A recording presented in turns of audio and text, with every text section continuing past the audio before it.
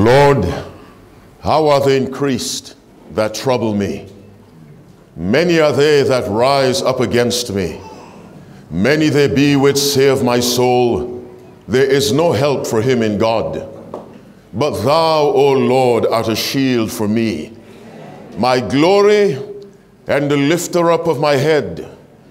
I cried unto the Lord with my voice, and he heard me out of his holy hill. I laid me down and slept. I awaked, for the Lord sustained me. I will not be afraid of ten thousands of people that have set themselves against me round about. Arise, O Lord, save me, O my God. For thou hast smitten all mine enemies upon the cheekbone, thou hast broken the teeth of the ungodly. Salvation belongeth unto the Lord. Thy blessing is upon thy people. God is good, and all the time. One more time, God is good, and all the time. Mukama mulunji, enakuzona, sabiti, sabiti inunji, abantu bange. It's nice to see you. Thank you for loving God. Thank you for loving His house, which I hope you'll complete very soon. Thank you for loving His Word. Thank you for loving good singing that the devil doesn't like. I sat and I listened. Where's the maestro? Did he go home? There he is. Thank you very much. God bless you. To sing like that, you have to be disciplined. Most churches don't like discipline. Members want to do whatever they like. You know, I watch flight attendants on airplanes and they're all dressed the same way. You go to a restaurant, the waitresses and waiters are dressed the same way. You look at the army, they're dressed the same way. You go dressed the same way. You come to church and people want to do whatever they like. The only place where discipline is not appreciated is the church. But I thank God for you and how lovely you look, and even your lovelier voices. May the Lord always sing through you, Amen. that those who listen may be lifted up, and for the time of your singing may forget their cares and their stresses. It is 12:30, and I want to run along because we have a long day, but I cannot overlook the most important people among us, and those are our visitors. If you're not a Seventh day Adventist, I'd like you to stand. Just, ah, good. Stay standing, please. Stay standing, stay standing, all right? Okay, we have quite a few guests. Let's find out the lady's name. Good morning. Ah, that microphone is, ah, there we are. Good morning, Oh, we have church. two. Good. What's your name?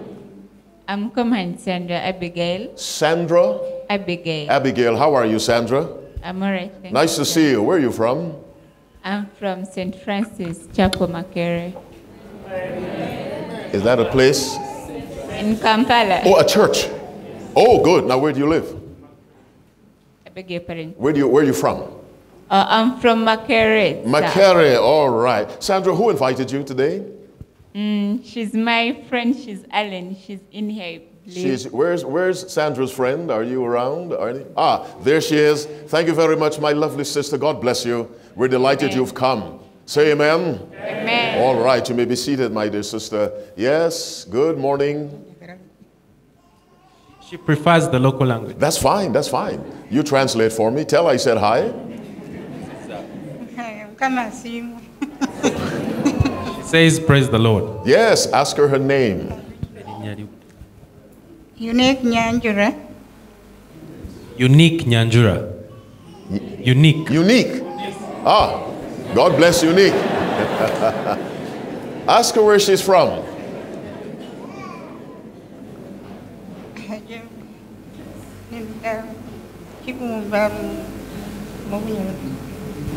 She's coming from Kigumba in Bunyoro district.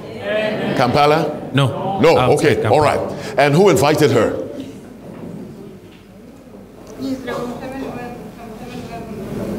The wife of the son. The wife of her son. As Well, tell her. daughter-in-law. Oh, daughter-in-law, yes, yeah.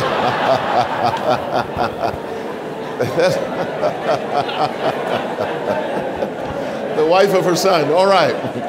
Tell her we're very happy she's come.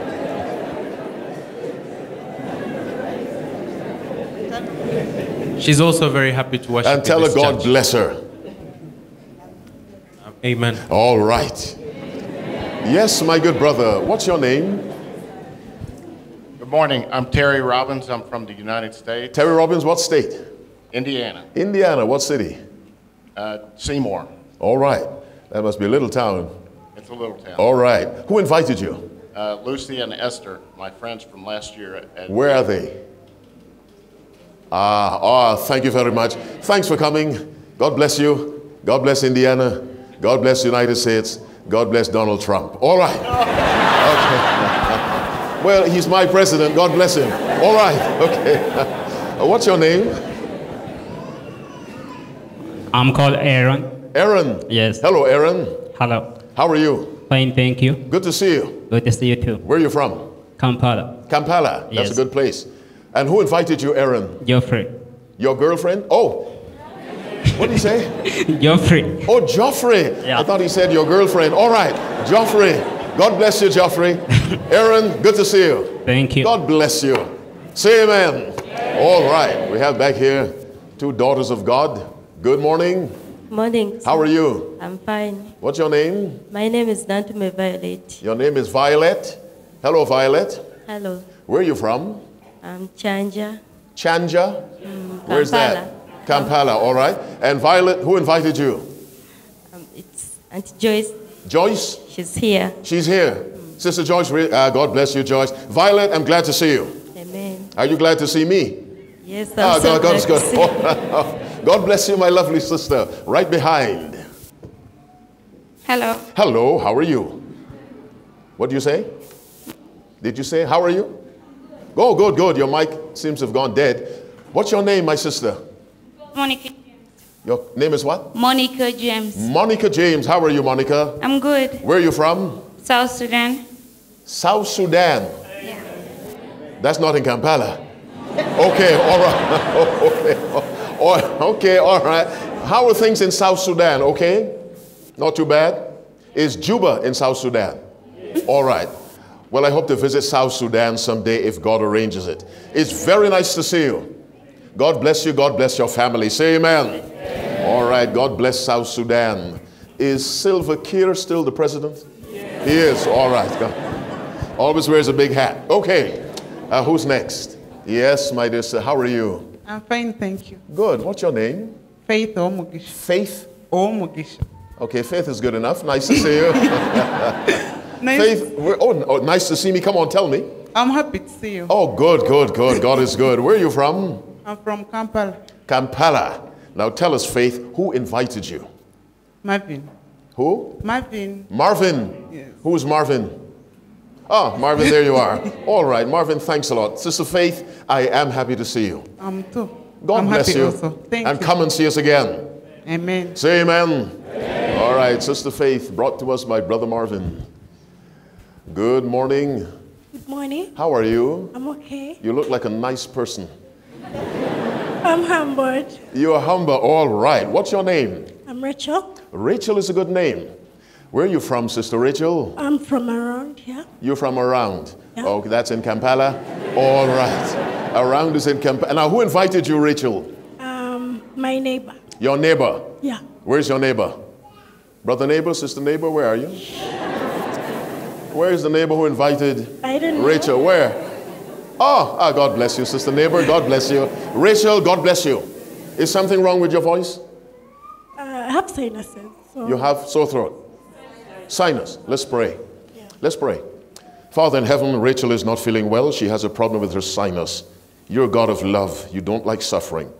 In the name of Jesus Christ, touch her voice right now, her sinus, whatever the problem is, remove it and give her relief. I offer this prayer with thanksgiving in Jesus' name. Let God's believing people say, Amen and Amen. Rachel, God bless your life. bless you too. You're very welcome. Thank you. In the back.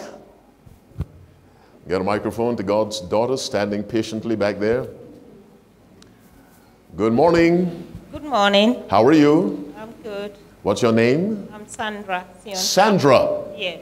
Where are you from, Sandra? I'm from Nairobi, Kenya. Nairobi. Ah, karibu sana dada yangu mdogo. Mungu akubariki sana. now, who invited you, Sandra?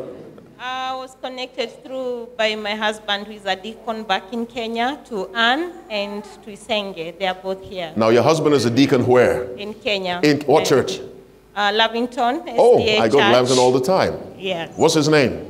Dennis Milanya. Dennis Milanya. Milania. Yes. I must look after him when I get back to Kenya. I'm going back to Kenya tonight. My Ah, lovely yes. sister, God bless you. Thank you. Thank Thanks you for so coming. much. and God you. bless your family. Say amen. Amen. Say it again. I see a daughter of God right back here. Let's find out what our sister's name is. Good morning. Good morning, man How- of God. Your name is what? I'm called Lois. Lois. Yes. Hello, Lois. Hello, sir. How are you? I'm very well. I'm delighted to see you. Where are you from? Me too. I'm from Kampala. You from Kampala? Yeah. And who invited you, Lois? My best friend Nina. Nina. Ah, Nina's my sister. And- Nice to see Nina. Lois, the Lord bless you, Lois. Amen. Stay close Praise- to Nina. Because Nina's on the way to the kingdom, you stay close to her. That's exactly where you'll go. God, say amen for Lois. Say it again. Ah, that was weak. Say amen. Anybody else? Any visitors in the choir? No? All right. okay. All right. Well, you never know. Okay. Have we exhausted our guests? Okay. Our subject for this morning doing things God's way. What did I say? All right. What is this? What is that? How many of you have both? You have both. I know you all have this. I'm not sure you all have this. So, how many have both? If you have both and you don't mind, I'd like us to look as if we're in church and use a Bible if you don't mind. In the meanwhile, turn these things off so that God is not disrespected because you cannot let one of these things ring in a courtroom. Are you with me? You may end up as a guest of the government behind bars. All right, the second favor I ask is that you pray for me while I speak. And all I want you to say is, Lord, put your words in that man's mouth. That request is based on Jeremiah chapter 1, verse 9, which says, Then the Lord put forth his hand and touched my mouth. And the Lord said unto me, Behold, I have put my words in thy mouth. And I only want to speak my words. You know, in, in Prophets and Kings, page 626, paragraph 1, Ellen White writes, The words of the Bible and the Bible alone should be spoken from the pulpit. Somebody say amen. Which means I will withhold my opinions and I will only give you, thus saith the Lord. Can you say amen? And the third favor I ask is that you, pray, you uh, think as you listen. Isaiah 118 says what? Come now, let us reason together, saith the Lord. Think as you listen. It's 20 minutes to 12. I'll release you by 12:30, if not before, but possibly 12:30. Let's bow our heads and pray to our God who loves us. Father in heaven, we thank you for your love for us, dear God. It's a stubborn love because you're unwilling to lose any of us. We thank you for the sacrifice of your Son, Jesus Christ. And we thank you, Lord God, for the presence of your Spirit that guides us, strengthens us. Father, I pray in the name of Jesus, if we have sinned against you in any way, forgive us, dear God. Grant us your grace.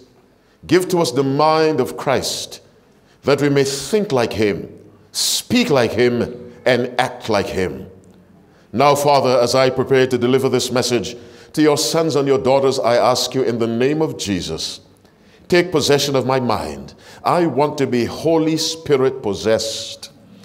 That my speech organs, my hearing apparatus, all that is required to deliver this message might be brought under your control, and I surrender myself to you.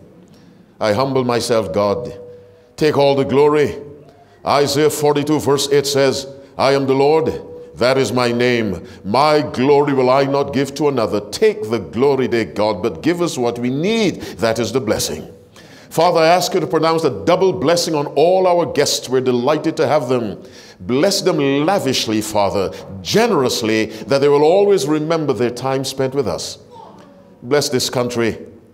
Bless the leaders, God. Give them wisdom to make decisions that are advantageous to the gospel and a blessing to the people. Here is humble prayer.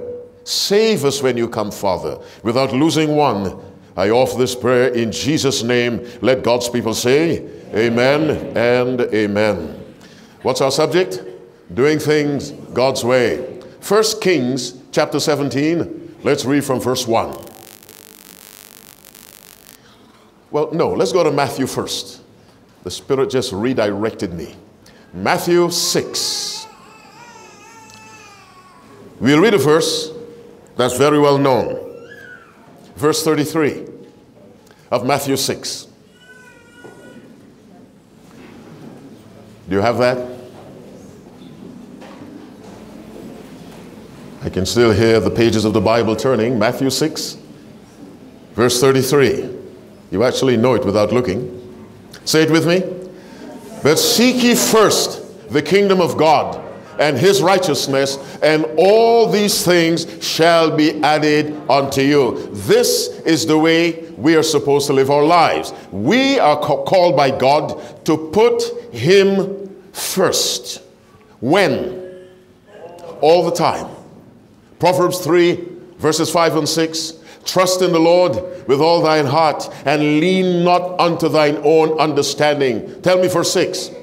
In all thy ways, how many ways? All thy ways do what? Acknowledge him. What's the result? He shall direct thy paths. What are the paths? He shall direct you in romance so you don't make a catastrophic choice. As so many do. He will direct you in your finances so you don't end up burdened by debt. He will direct you in your family so that your family is strong. He will direct you in your educational pursuits. Trust in the Lord with all thine heart and lean not unto thine own understanding. Use your understanding, but don't lean on it. In all thy ways, without exception. Do what? Acknowledge him. What's the outcome? He shall direct thy paths. God cannot lie. And every promise of God is made of tempered steel, it cannot be broken. Seek ye first the kingdom of God and his righteousness. And all these things shall be added unto you. Let's identify all these things. Let's go to verse 25 of Matthew 6. Our subject, doing things God's way.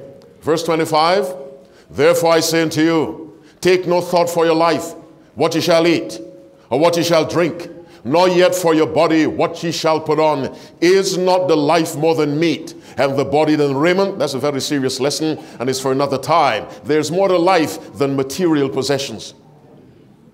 Now I need a louder amen than that. There is more to life than having designer handbags. There's more to life than having designer shoes.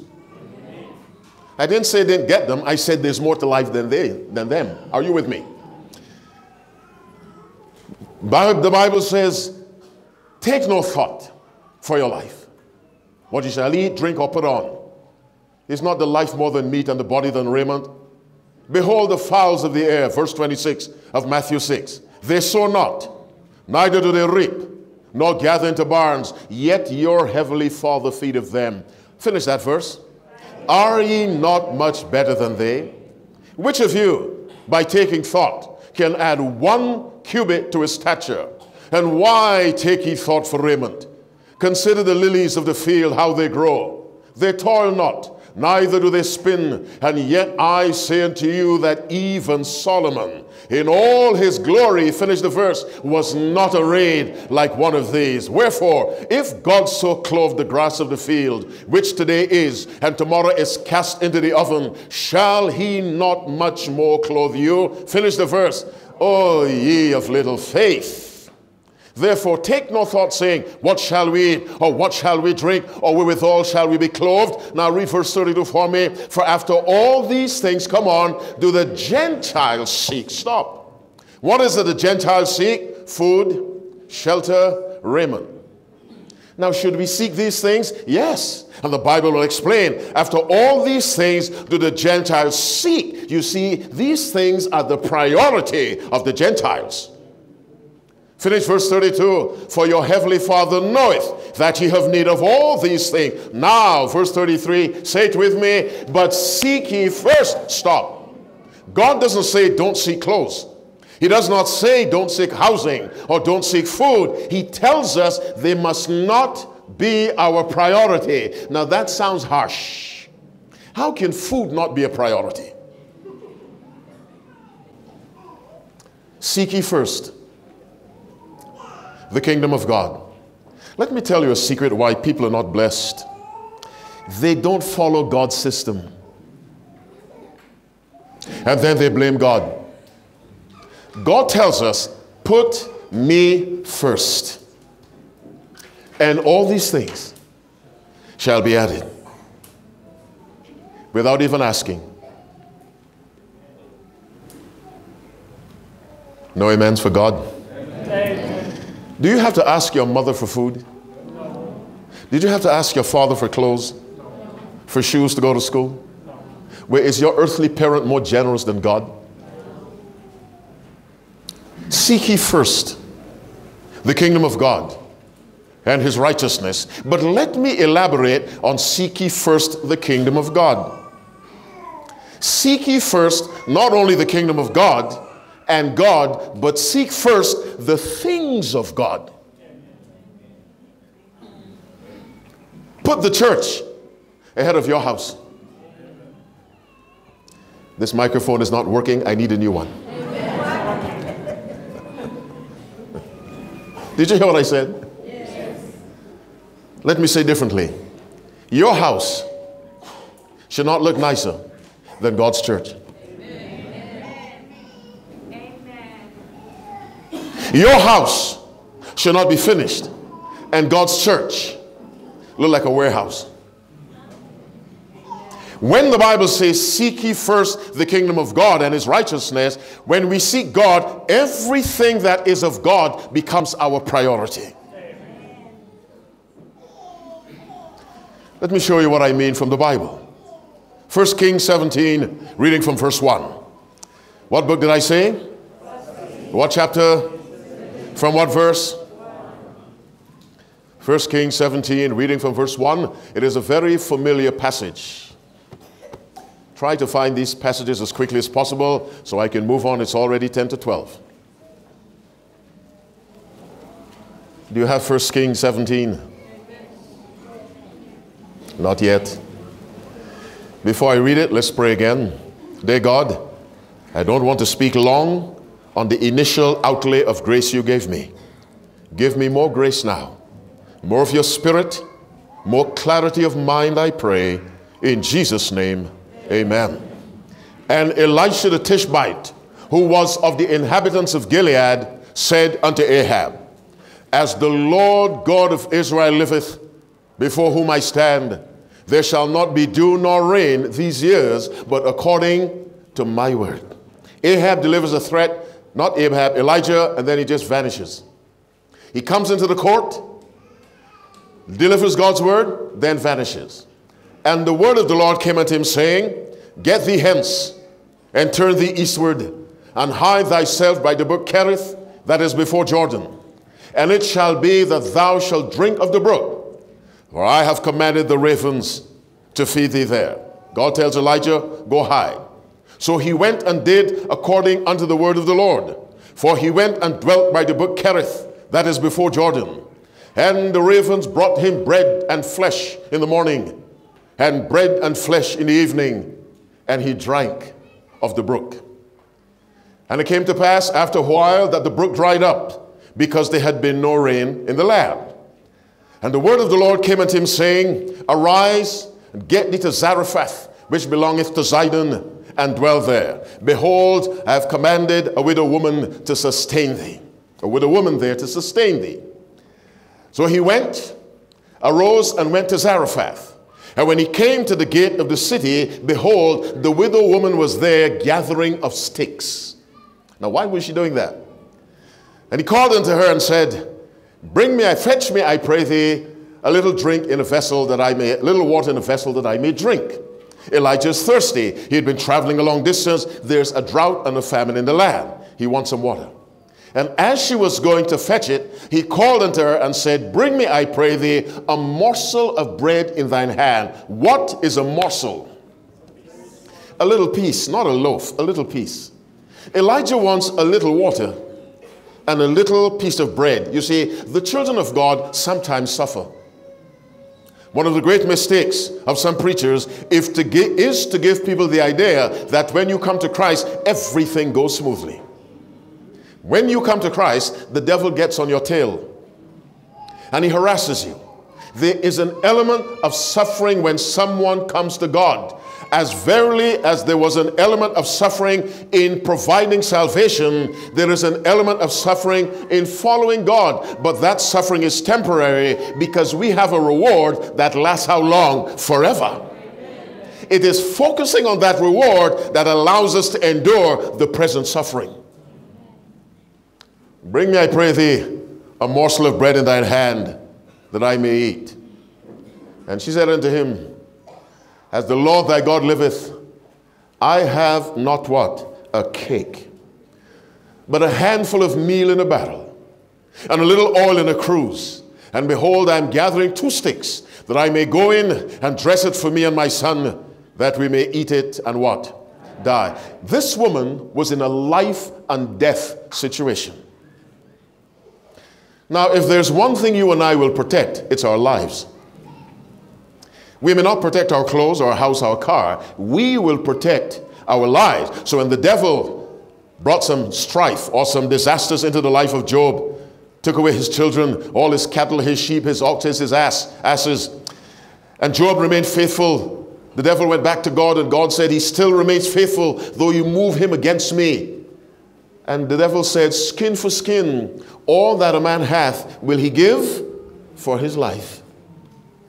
The devil is saying, Let me step up my attack. Let me touch his life. And the devil was right. Skin for skin, we will give everything to defend our lives. The woman told Abraham, uh, Elijah, Behold, I'm gathering two sticks, that I may go it and dress it for me and my son, that we may eat it and die. I say again, this was a life and death situation. And Elijah said unto her, Fear not. Go and do as thou hast said. Now read the next part, the last part of that verse for me. But make me thereof, what's the next word? First. What? A little cake. What's the next step? Bring it unto me. Finish the verse. Then make for thee and for thy son. Now, wait a minute. Someone will say about Elijah, this man has no feelings. This preacher is harsh. How can he ask poor people to give an offering?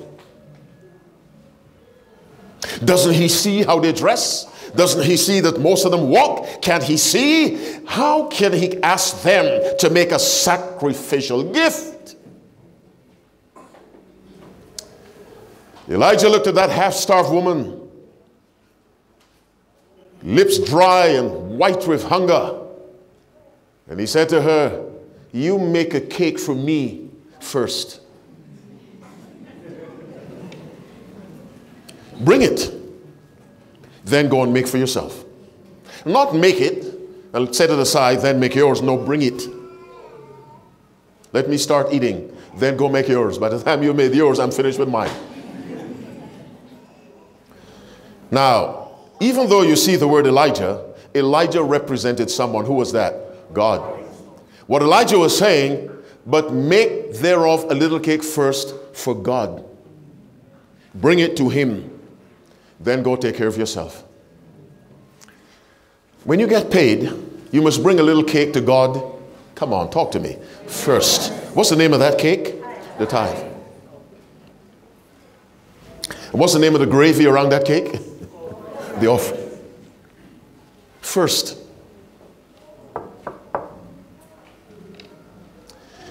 When I read that verse, or as I read it, I sometimes wonder what went through the head of that woman. A woman will do everything to defend the life of her children, even attack her husband. But not in this church, but outside. Let me say it again a woman defending her children is not someone to mess with. You see it in the animal world. You come too close to an animal that has little ones, your life is in danger. Yet she listened to the words of Elijah, risking her life and the life of her son because she trusted the man of God as a representative of God.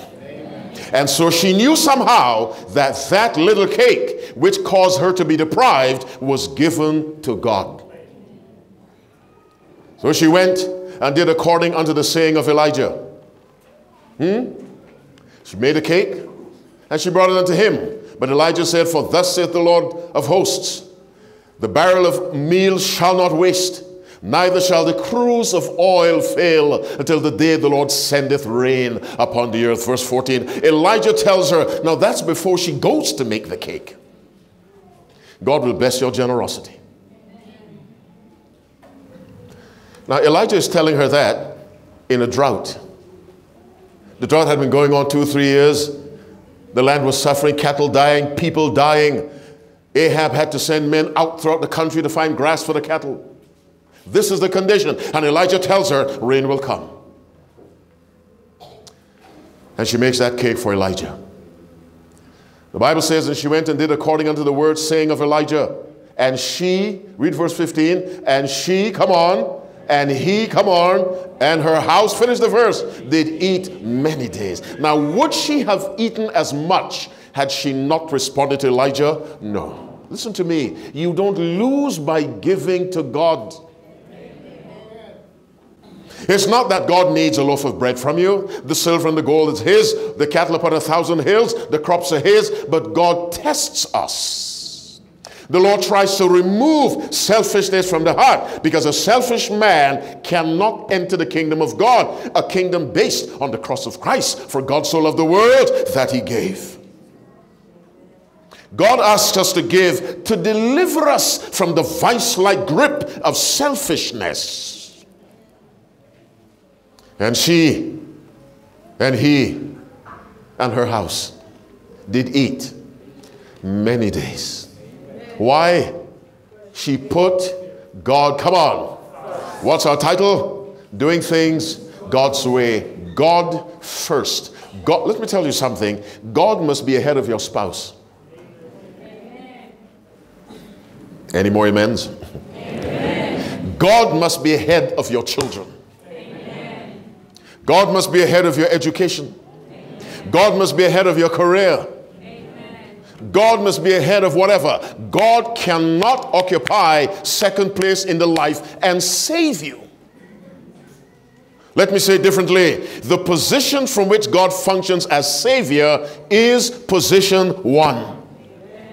You remove God from that position and he cannot save you. So God does not desire to be one out of egotism. He desires to be one out of your interests.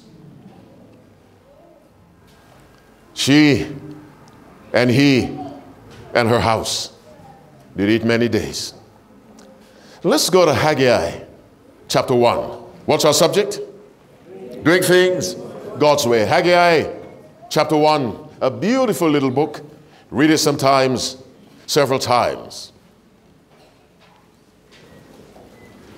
Haggai is two books before Malachi. Find Matthew, work your way back. Malachi, Zechariah, Haggai. Chapter 1, we read from verse 1.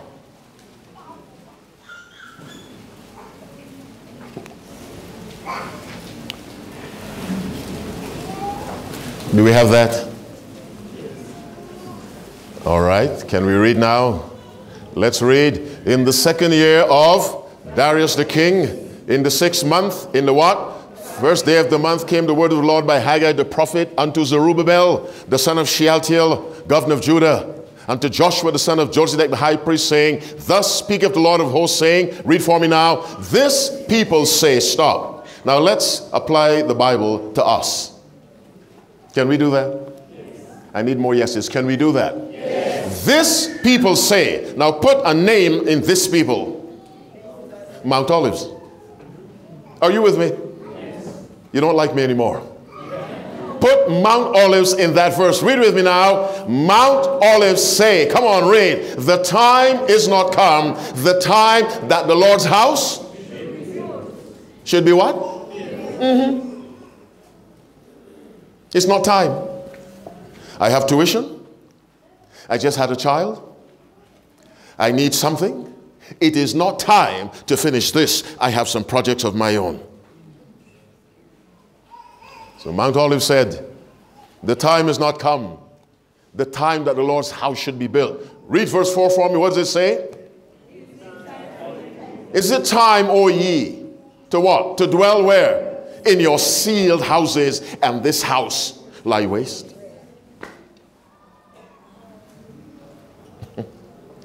God is answering Mount Olives. Is it time, Mount Olives, for you to finish building your house, paying your tuition, buying your car, and this house is in this condition?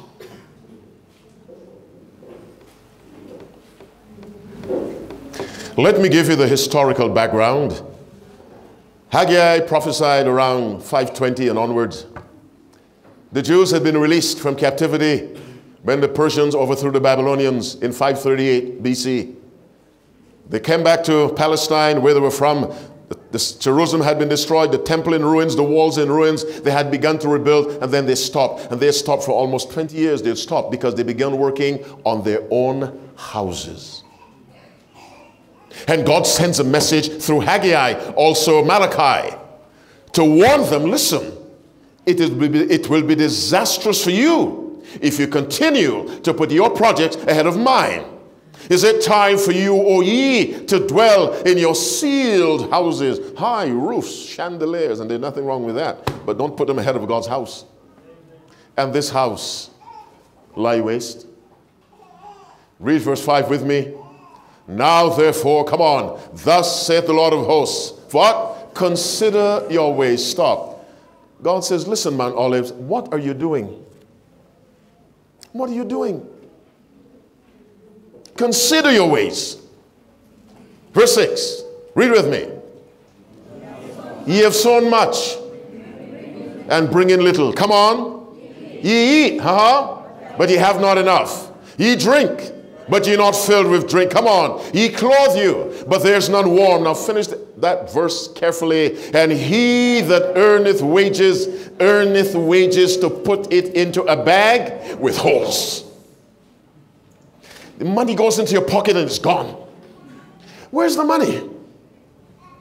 I just had 50 million shillings. Where is it? There's a hole in your life, not just your pocket. The problem is not your pocket, it's my life.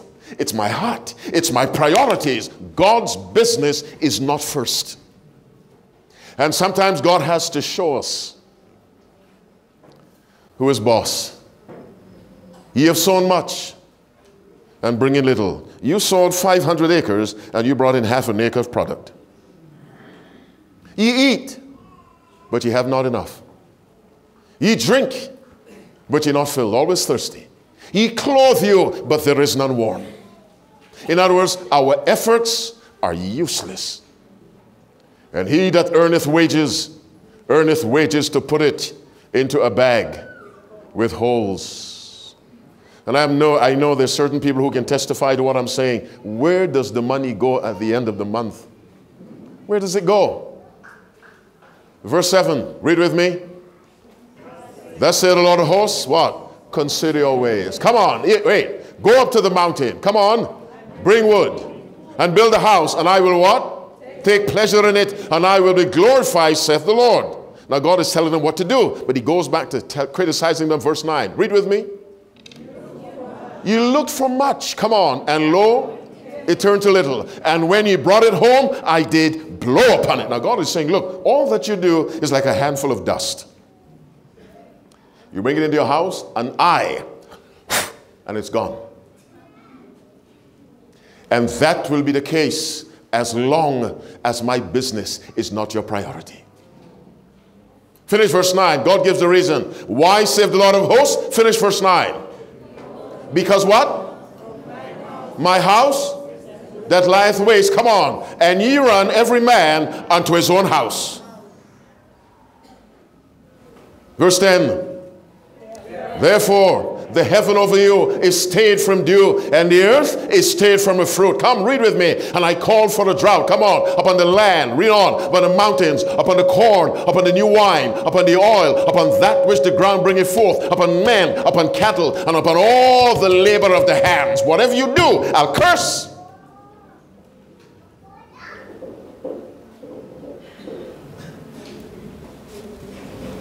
Because my house is in ruins, or it looks like it, and yours is in good shape. Because my business is not taken care of, and yours, it need not be a house, it can just be the work of God. Even if this becomes a palace, we must put every aspect of God's work. Finish my, finish my words first. Therefore, the heaven over you is stayed from dew, and the earth is stayed from a fruit. Now, why is God threatening them? That they might change their behavior. You see, punishment is strange behavior for God, blessing is his natural behavior. God punishes us not because he's sadistic, but to turn our feet into the right path. My brothers and sisters, there's a divine principle by which you and I, I ought to live our lives, and that principle is God first. And this was the way Jesus Christ lived. Listen to his testimony in John 8 29. Go there with me. 10 minutes after 12. We're in good time. John 8 29, as we continue with the subject, doing things God's way. And God's way is God first. John 8 29, listen to the testimony of Christ, who lived by this principle God first. When you found it, say amen. amen. Read with me and he that have sent me is with me. The Father hath not left me alone, finish the verse, for I do always those things, come on, that please him. How often? Always. Christ put the Father first. In his moment of greatest suffering, the greatest suffering of Christ was not so much on the cross as it was in the Garden of Gethsemane. On the cross, he didn't say, Get me out of this. On the cross, his focus was other people. On the cross, he said, Forgive them, for they know not what they do. On the cross, he told John, Behold your mother. He told his mother, Behold your son. On the cross, he saved the thief on the right. On the cross, his focus was other people in the garden. Three times he prayed, Father, if thou be willing, what? Remove this cup. That's where the suffering was intense. Even in the midst of his worst suffering, the mind of Christ rested with the Father and placed the Father first. Here's what he said Father, if thou be willing, remove this cup from me. What's the next word? Nevertheless, finish it now. Not my will, but thine be done. The Father first. In suffering. That widow woman, God first. In suffering at the risk of her life. I told you God must come ahead of your spouse. He must come ahead of your children. He must come ahead of your education, your career, your finances. Let me become extreme. God must take precedence ahead of our lives. And this is literal. When a soldier goes to war, the interests of his country take precedence over his life. You don't believe me? He is going to die for policies he may not even understand.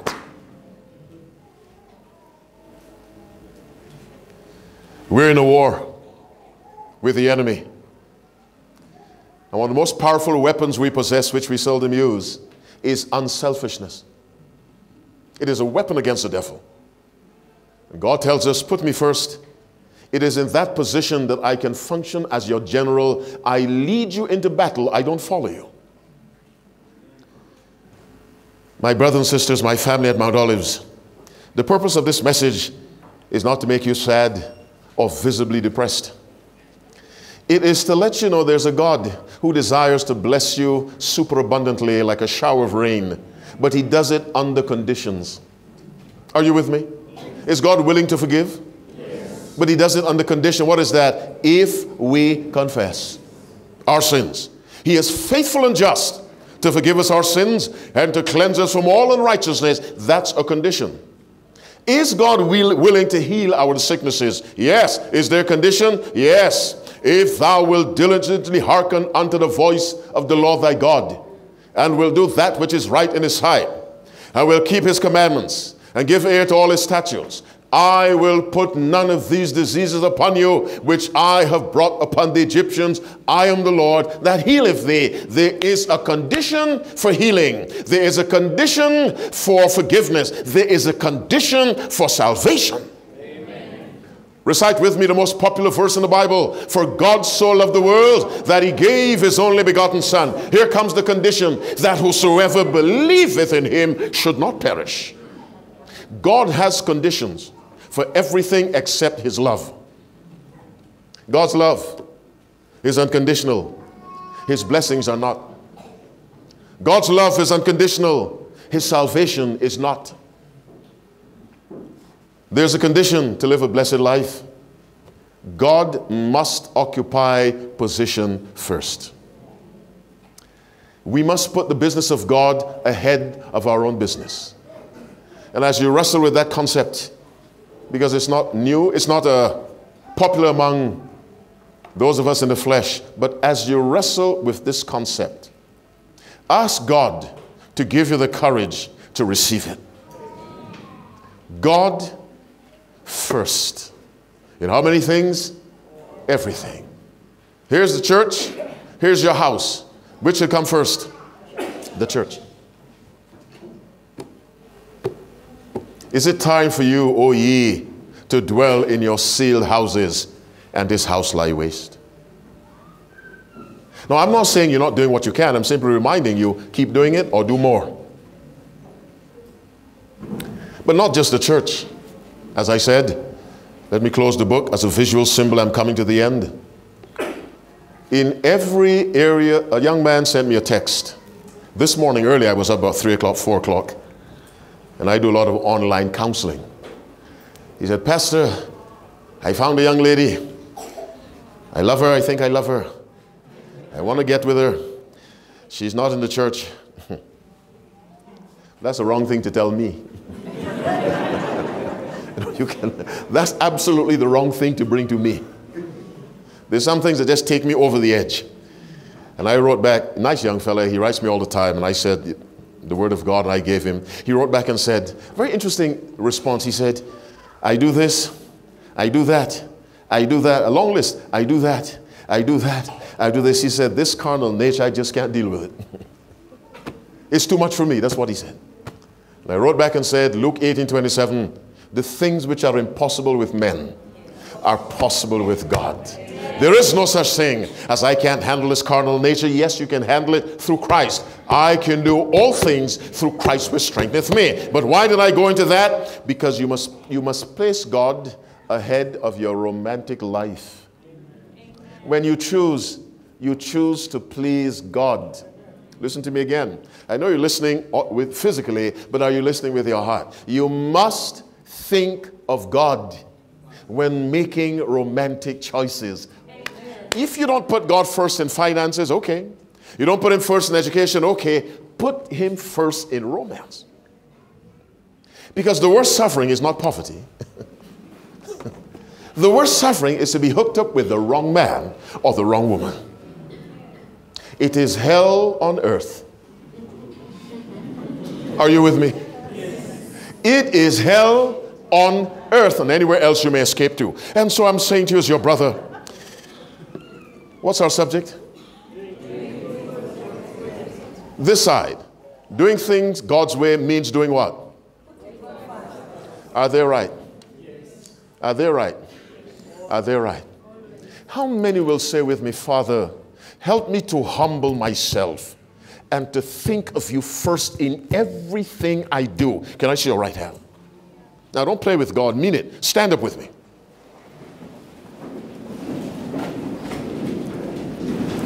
Everything I do.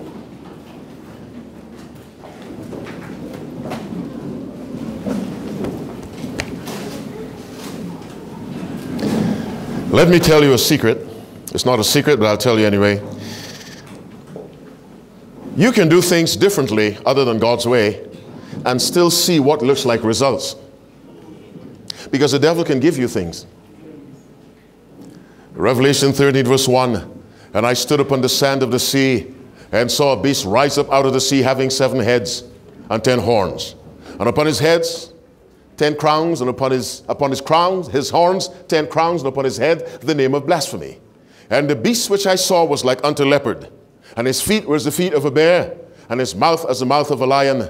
And the dragon gave him what? His power, come on, and his seat, come on, and great authority. Who gave them to him? The devil.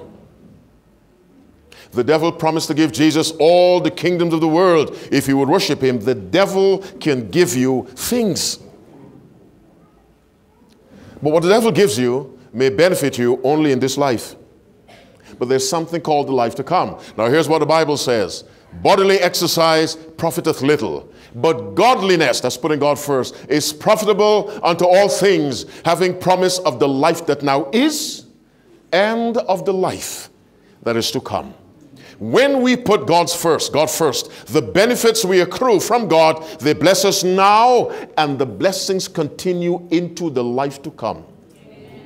Now, you're all intelligent people. This life is only this long. The life to come is endless. Where should your focus be on this? Put God first. Put His house ahead of your house you will have a testimony of God's goodness in your life. Amen. Put God ahead of your romance. Put God at the head of your educational plans. Put God at the head of your family planning. You will have a testimony of how God rewards those who honor him. 1 Samuel 2, verse 30, God says, I will honor those who honor me. It works. It works. Is there someone right now making plans for life? You're making plans for life. You did not consciously put God at the head, but you want to do that now, having heard His word. Let me say it again. Is this someone you are actively making plans, education, job, profession, career, whatever, but you did not consciously put God at the head? Now, having heard His word, you want to put God first. Is there someone like that? Can I see your right hand? You are actively making some kind of plan, but you did not consider God first. You want to do that now, and God is watching you. He's not spying, He's watching. Two different things. Keep your hand up. Father, in the name of Jesus Christ, I ask you today, God, first forgive me if I have spoken badly. If I misrepresented the truth by contaminating it with my opinions, forgive me, Father. Now I ask in the name of Jesus, who himself is the Word, that you would clarify what I have said and apply it with force and conviction to every listening mind. Father in heaven, convince us, dear God, convict us of this truth. A life led by God, a life where God is first, is the blessed life to live. Father, register and record every upraised hand. That hand says, I am making plans, but have not consciously put God at the head. Now, having heard his word, I place God first. Let him direct me in all these areas where I am presently making plans. Father, this is your church. It's under construction. We read from your word that you withheld the dew, you withheld the rain, you withheld the fruit, you withheld the cattle, you withheld blessings. Why? Because your people's houses were placed ahead of your house. Now, dear God, help us to do the intelligent thing and place this house ahead of our houses. Place your work ahead of our work. Place your business ahead of ours. Father, forgive us for not having done this. We know you'll forgive because you delight in mercy. Now look upon all of us, dear God, hands raised or not. Look at all of us. Bless us. Let us leave this place with this message God first. God first. And let us see how He blesses our lives. Bless every man, woman, boy, and girl. A double blessing on all our visitors, dear God. Thank you for your love. Thank you that we can establish this church as a witness in this part of this country. And let this church, dear God, be the reason many people are ready to meet Christ when he comes. Bless every member, bless every house, bless every child. Save us when you come. In Jesus' name and for his sake, let God's people say, Amen and Amen. 286, unless the choir. 286? It's okay. 286, our closing hymn. Please stay standing. And they are indeed words of life, so sing with all your heart and soul. 286.